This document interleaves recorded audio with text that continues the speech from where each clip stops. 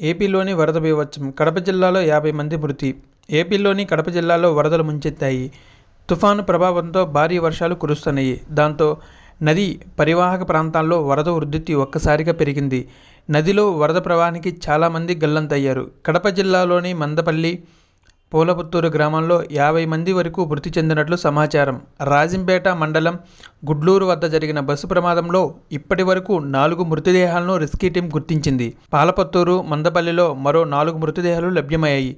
ఇక బస్సు ప్రమాదంలో గల్లంతైన వారి కోసం విపత్తులు నిర్వహణ శాఖ సిబ్బంది తీవ్రంగా గాలిస్తున్నారు. కడప జిల్లా అన్నమయ్య ప్రాజెక్టుకు వరద నీటి ఉద్ధృతిలో కొట్టుకుపోయిన యాభై మందిలో ఎనిమిది మృతదేహాలు లభ్యమయ్యాయి. రంగంలోకి దిగిన సిఆర్డీఎఫ్ టీం మృతదేహాలను వెలికి తీస్తున్నారు వరద ఉధృతి తగ్గుముఖం పట్టడంతో కొట్టుకుపోయిన ద్విచక్ర వాహనాలు బయటపడుతున్నాయి. నీటిలో చిక్కుకుపోయిన మూడు ఆర్టీసీ బస్సులు ఒక ప్రైవేట్ ట్రావెల్స్ బస్సు కూడా బయటపడింది. బస్సులో చిక్కుకుపోయిన మృతి చెందిన వారి మృతదేహాల్లో నాలుగు మృతదేహాలు లభ్యమయ్యాయి.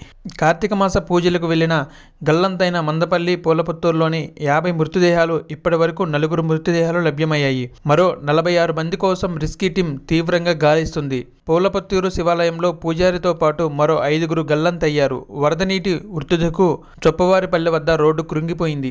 జిల్లాలో వరదలపై రాజంపేట ఎమ్మెల్యే మేడా మల్లికార్జున్ రెడ్డి స్పందించారు. తుఫాను ప్రభావంతో ఇబ్బందులు ఎదుర్కొంటున్న రాజంపేట నియోజకవర్గంలోని ప్రజలకు అండగా ఉంటానని ఆయన చెప్పారు. రాజంపేట మండలం గుడ్డూరు వద్ద జరిగిన రోడ్డు ప్రమాదంలో పలువురు మృత్యువాత పడ్డారు. పుల్లూరు మందపల్లిలో జలమయమై అన్నారు. వరద కష్టాలపై ముఖ్యమంత్రి దృష్టికి తీసుకువెళ్ళినట్టు ఎమ్మెల్యే మేడా తెలిపారు.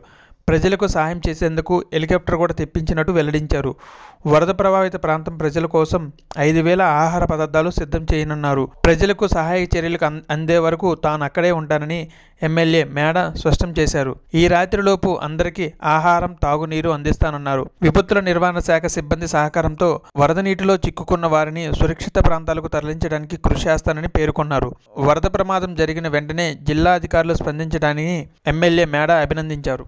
మా వీడియోస్ కనుక మీకు నచ్చినట్లయితే మా వీడియోస్ని లైక్ చేయండి మీ ఫ్రెండ్స్తో షేర్ చేసుకోండి అలాగే మీ అభిప్రాయాన్ని కామెంట్ చేయండి అలాగే మా రెడ్ పెప్పర్ న్యూస్ని తప్పకుండా సబ్స్క్రైబ్ చేసుకోండి.